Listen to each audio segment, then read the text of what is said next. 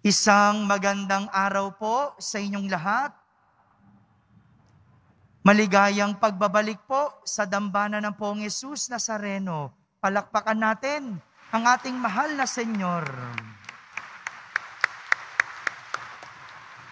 Wala man tayo nung piyesta, ang mahalaga, nandito ka ngayon.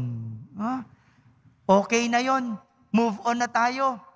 Ang importante, ligtas tayo. Ang mahalaga, wala tayong sakit. No? Kaya ang dami nating pwedeng ipagpasalamat sa poong Yesus Nazareno sa araw na ito. Bukod doon, meron tayong matututunan. At ang ating mga aral ay tumutukoy sa paghahari ng Diyos. Narinig natin ang isang talinhaga tungkol sa paghahari ng Diyos. Ito yung pinangaral ni Jesus sa ating ebanghelyo ngayon. Ginamit ni Jesus ang imahe ng paghahasik ng binhi sa bukid para ipaliwanag ang paghahari ng Diyos. Sabi niya, ang paghahari ng Diyos ay parang mga binhi o butil o buto na inihasik o tinatanim sa lupa. Tumutubo araw-araw nang hindi nalalaman kung paano. Dahil ang lupa ang siyang nagpapasibol nito. Kung ilalagay natin sa konteksto ng ating buhay, ang binhi o ang butil o buto na itinatanim ay ang salita ng Diyos. Samantala, tayo, tayong mga tao, ang lupa Ibig sabihin, itinatanim sa atin ang salita ng Diyos. At dito, tumutubo ang salita ng Diyos. Ibig sabihin, tayo ang nagpapatubo sa salita ng Diyos. Sa ating nakasalalay kung paano tutubo ang salita ng Diyos maaring sinasama natin ito sa pang-araw-araw nating buhay, sa ating trabaho, o kaya sa ating pag-aaral. Pwede din ang salita ng Diyos, dinadala natin at ginagamit natin sa pakikipagrelasyon o pakikipag-ugnayan sa tao. Sa ganitong paraan, hindi natin namamalayan, unti-unting tumutubo ang salita ng Diyos na itinanim sa atin. Hindi natin namamalayan, unti-unti tayong lumalago. At kapag pinagpatuloy pa natin, hindi lang tayo lalago, kundi magbubunga. Ito po yung nais sa atin ng Diyos. Ang pagharian niya ang ating buhay sa pamamagitan ng paghahasik sa atin o pagtatanim sa atin ng salita ng Diyos kung saan tayo ay lalago at magbubunga. Ngunit gaya ng kahit na anong pananim, sadyang may mga peste na kumakain o kumukuha ng ating bunga. Itong peste na ito, sila yung basta-basta na lang susulpot, tapos kukunin ang hindi sa kanila. Sila yung nakikinabang sa bunga na hindi naman sila ang nagtanim. Kung baga, mga magnanakaw o kumakamkam ng hindi sa kanila at hindi nila pinaghirapan. Ganyan ang mga peste, mga magnanakaw. Sabihin mo nga, peste, magnanakaw. Sinong gusto sa mga peste at magnanakaw? Taas ang kamay. Wala. Walang may gusto. Totoo naman, ayaw natin ito. Ayaw natin yung ninanakawan tayo.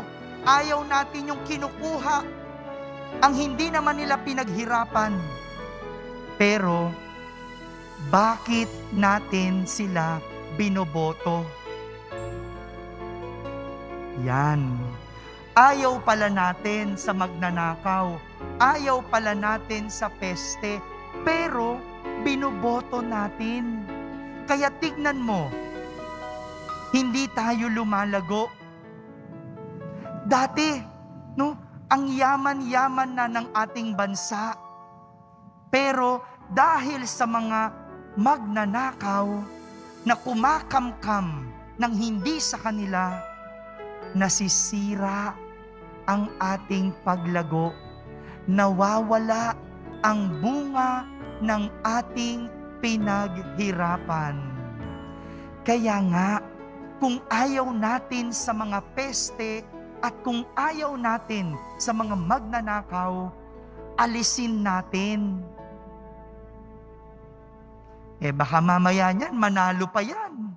Oh, hindi ba? Magising na tayo. Kinamkam yung hindi kanila. Kinuha yung pinaghirapan natin Ayaw natin ng ganun kasi masisira ang ating buhay, masisira ang ating pinaghirapan, mawawala lahat ng ating bunga.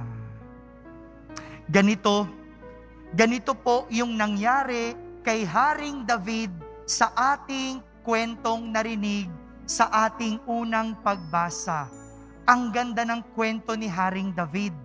Kahapon, yung unang pagbasa ay tungkol sa panalangin ni Haring David.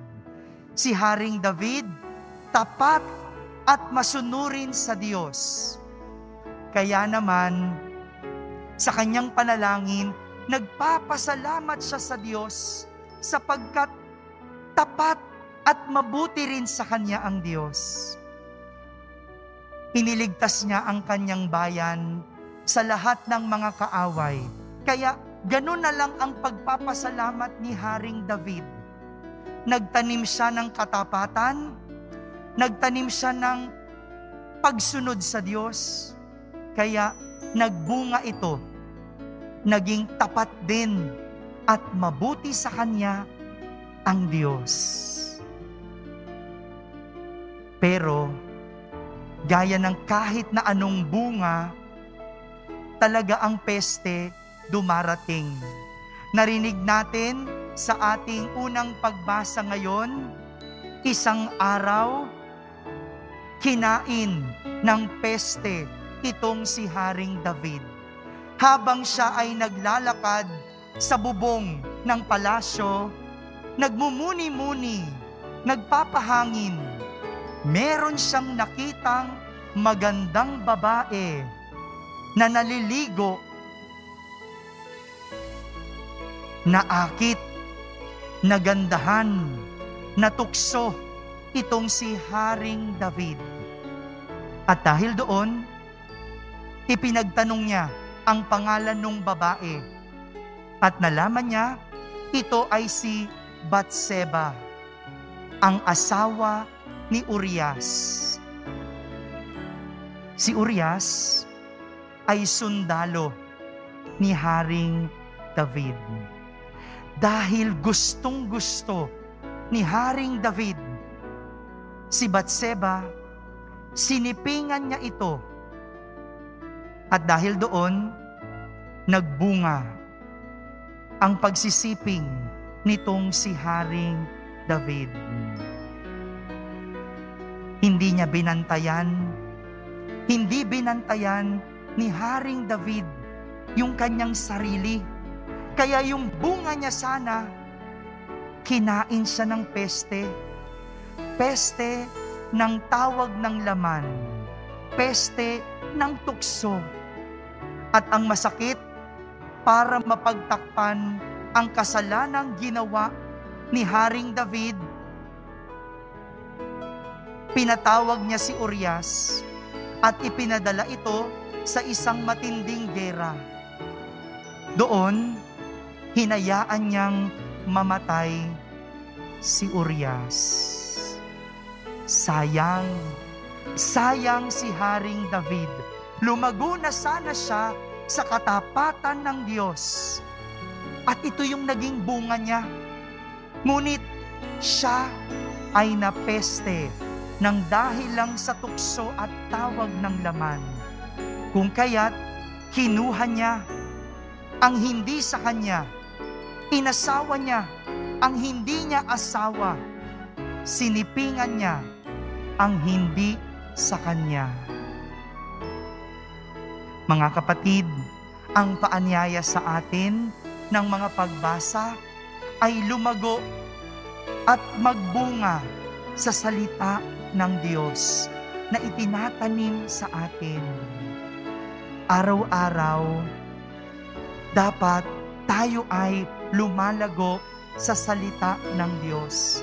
At habang tayo'y lumalago at nagbubunga, bantayan natin yung ating mga sarili na wag mapeste. Ito yung babala sa atin ng ating mga pagbasa. Mag-ingat sa mga peste na aaligid-aligid dahil sila yung sisira sa ating bunga. Sila yung pipilit na makuha ang ating pinaghirapan. Sila ang mga magnanakaw na makikinabang sa isang bagay na hindi naman nila pinaghirapan. Kaya't maging mapagmatyag, maging matalino, dahil ang peste ay sumasalakay at pilit na kukunin ang iyong bunga. Amen. Amen.